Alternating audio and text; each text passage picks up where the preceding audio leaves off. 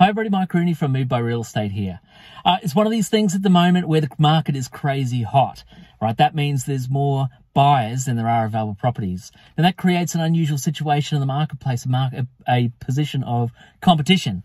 Not just competition amongst buyers, and there is a lot of that right now, but also competition amongst agents. And what it does, it does show us right now in a competitive environment for agents fighting for business. The question I see some people ask is, well, why do we even need an agent right now? Property's going to sell itself. And here's the truth bomb. It's true. It actually can sell itself. And you know what? I would even go so far as to say that I could take a photo of a property from the front street, print it out on an inkjet printer at home, stick it with chewing gum to a window shop front in the local shopping centre, and it could probably sell if it was cheap enough. Now here's the here's the thing. So what value does an agent actually offer? Now, I think some agents don't actually know this themselves. And this is a really important topic of discussion, right? So what value does an agent, why are we hired? Why are you paying an agent commission? Why do you pay one agent more commission than a different agent? And the simple reality is being a real estate agent is not just about doing an open house and greeting people and welcoming them through and then accepting an offer. If that was all we did, uh, in fact, I, I, I, would take it a little bit further and say that's all some agents do do, uh, and that's why some people do have a bad experience. But that's not actually what we're employed for. What an agent is employed to do is to elevate the perception of the value of the property in the buyer's eyes, to actually increase their expectation of value, to actually increase the offer price that they're expecting to offer and pay, to present a property beautifully to elevate it above the competition of other properties in the marketplace.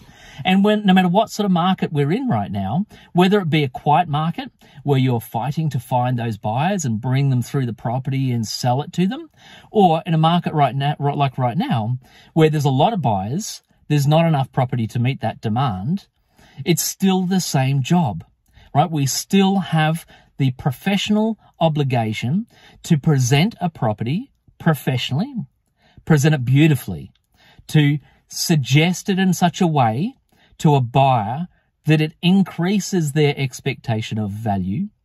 It is our job as an agent to actually defend our vendor.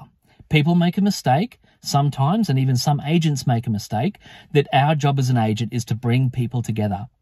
We bring a buyer up to the seller's price and we bring a seller down to the buyer's price. I strongly disagree. We are not paid by a buyer. We are paid by the seller. So therefore, it is our job to represent the seller's price expectation. It is not our job to represent the buyer's price expectation. Now, some people won't like me saying that, but that is the reality. Now, we should, as a professional, always conduct ourselves with efficacy, right? To be professional and respectful of buyers, but it is not our job to present a buyer to a seller in such a way that we motivate the seller to accept the buyer's price.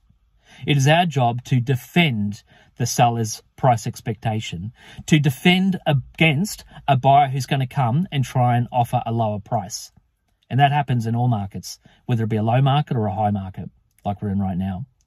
It is our job to actually increase that buyer's price expectation, to actually elevate their expectation of what they expect to pay. It is not our job to be paid more than we actually increase that price expectation. If an agent offers no value to you as a seller, if they don't actually elevate the price of the property more than you're going to pay them as a professional, then I would agree with the people who say an agent is of no value, why have them? If you're engaging an agent who's not defending a seller's price, if you're engaging an agent who is not elevating and increasing that price expectation by presenting the property beautifully, by presenting it in such a way that the buyer can see the potential, they can see themselves living there and fall in love with it, then they're not doing their job. So I mention this not to upset people. I do mention this because it is something that I think is a matter for discussion and I welcome discussion in the comments.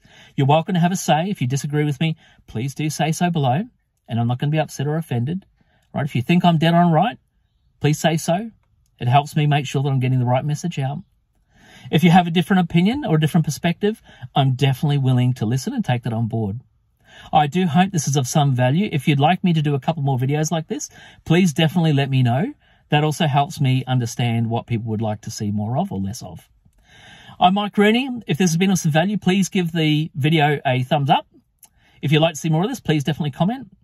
If you've got something to say about it, please do. I'm definitely willing to engage and listen and learn. If I'm wrong, if there's other perspectives, I'm definitely willing to learn.